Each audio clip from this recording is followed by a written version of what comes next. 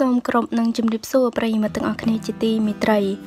ព្រះឆៃលក្ខនៃព្រះមហាក្សត្រកាលពីកុមារភាពស្រស់សង្ហាកម្រនឹងបានឃើញថ្ងៃទី29តុលាឆ្នាំ2018គឺជាខួបលើកទី14នៃព្រះរាជពិធីគ្រងព្រះរាជសម្បត្តិព្រះករុណាព្រះបាទសម្ដេចព្រះបរមនាថនរោត្តមសីហមុនីព្រះមហាក្សត្រនៃព្រះរាជាណាចក្រកម្ពុជា ព្រះអង្គត្រូវបានក្រុមប្រឹក្សា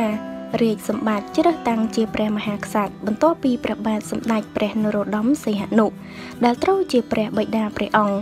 បានដាក់រាជកាលពីថ្ងៃទី7ខែតុលាឆ្នាំ2004ចានេះគឺជាព្រះឆៃលក្ខរបស់ព្រះបាទសម្ដេចព្រះបរមនាថនរោត្តមសីហមុនី កាលពីត្រង់នៅពីកុមារភាព ចាគឺពិតជាស្រស់សង្ហាមែនទែន ហើយមានបងប្អូនខ្មែរយើងតិចណាស់ដែលបានឃើញនៅព្រះឆាយលក្ខនេះចា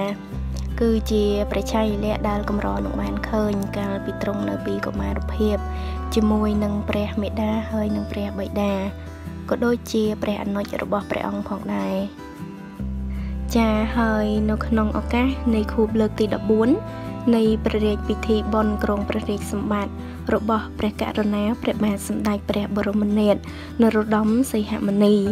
នាងខ្ញុំក្នុងនាមជាកូនខ្មែរមួយរូបក៏សូមថ្វាយព្រះពរព្រះអង្គឲ្យមានប្រជញ្ញយិនយូរនៅជាមលប់ដ៏ត្រជាក់ត្រជុំនៃកូនខ្មែរគ្រប់រូបចាហើយនឹងខ្ញុំក៏សូមបញ្ចប់នៅអត្ថបទនេះតែត្រឹមនេះ ហើយក៏សូមជូនពរដល់បងប្អូនទាំងអស់គ្នាឲ្យមានសុខភាពល្អសំណាងល្អរកស៊ីទទួលទានមានបានគ្រប់ក្រុមគ្រួសារធ្វើដំណើរទៅណាមកណាប្រកបដោយសេចក្តីសុខនិងសុវត្ថិភាពទាំងអស់គ្នាចាសូមអរគុណសូមជម្រាបលា